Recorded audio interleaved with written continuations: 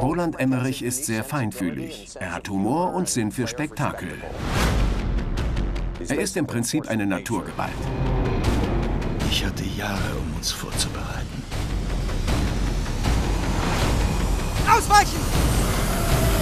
Er gehört zu den besten Regisseuren der Welt.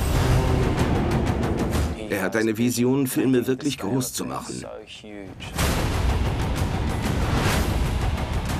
So etwas hat man garantiert noch nicht gesehen.